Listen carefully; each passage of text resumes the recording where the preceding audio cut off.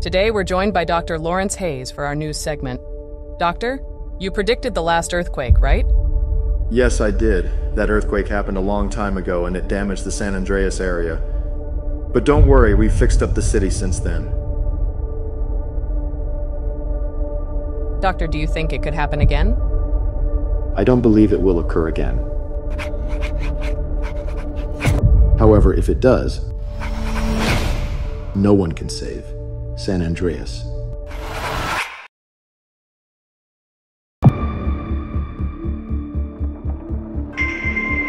San Andreas is once again in danger due to increased seismic activity. Well, that sounds like a challenge.